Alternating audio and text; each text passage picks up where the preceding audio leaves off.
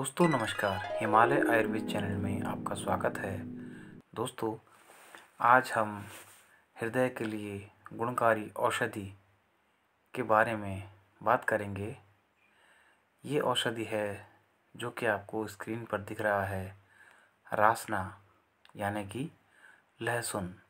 लहसुन का प्रयोग सदियों पहले से भारतीय घरों में चला आ रहा है। यानी कि मसालों के रूप में इसका प्रयोग हम लोग करते आ रहे हैं। तो चलिए, आज हम बात करेंगे इसके औषधीय गुणों के बारे में। दोस्तों, लहसुन स्वभाव से वातनाशक, यानी कि वायु को दूर करने वाली एक औषधि है। आज मैं आपको बता रहा हूँ कि यह हृदय के लिए किस प्रकार से अमृत तुल्य काम करती है।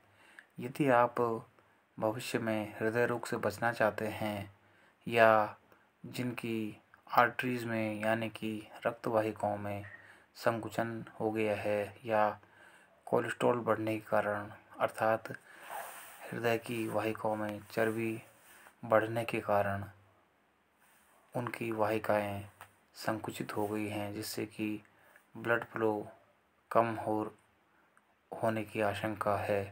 तो इसका प्रयोग आप किस प्रकार से कर सकते हैं, मैं आपको बताने जा रहा हूँ।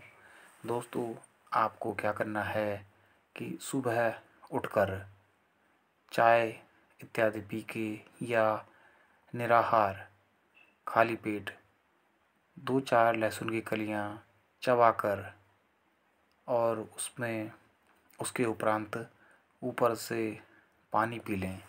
यानी कि जल का हमें सेवन करना है। दो चार कलियाँ दांतों से पीस लें या चबा लें अच्छी तरह से। उसके बाद उसके बाद घूंट घूंट कर पानी पी लें। बस आपको इतना करना है। पानी आप गुनगुना गर्म या शीतल ऋतु अनुसार जैसे आपको उचित लगे, आप इस तरह से इसका सेवन कर सकते हैं। यह प्रयोग आपको हफ़्ते में एक दो दिन या दो चार बार करते रहना है। जब तक कि आपको यह न लगे कि अब चेस्ट में बिल्कुल क्लियर या हल्कापन हो गया है। यानी कि जिन लोगों को यह आशंका है कि उनको कोलेस्ट्रॉल शरीर में बढ़ रहा है तो वे लोग इस प्रयोग को कुछ दिन तक अवश्य उपयोग करें। यानी कि जब उन्हें लगने लग जाए कि जस्ट हल्की हो गई है, यानी कि सीने, जो सीने में भारीपन लग रहा था या हल्का सा दर्द बाई तरफ़ लग रहा था, वे लोग इसको अवश्य एक बार इस्तेमाल करें। और आप देखेंगे कि आपका शरीर, आपका जो खून है, वह पतला हो गया है। जो अतिरिक्त चर्बी है हमारी रक्तवाहिकाओं में, वह ऑटोमेटिकली लहसुन के कारण गल गई है। यानी कि चर्बी को यह अनावश्यक चर्बी को समाप्त कर देता है और हमारी रक्त वाहिकाएँ खुलकर उसमें ब्लड फ्लो होने लगता है, जिससे कि हृदय, हृदयघात होने की संभावना बिल्कुल शून्य हो जाती है।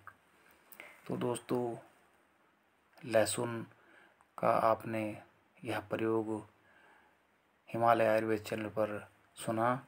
दोस्तों, इसके अलावा लहसुन के एक नहीं, अनेकों, अनेक इसमें गुण होते हैं, जिनको कि हम अगली नेक्स्ट वीडियो में आपको ज़रूर बताएँगे।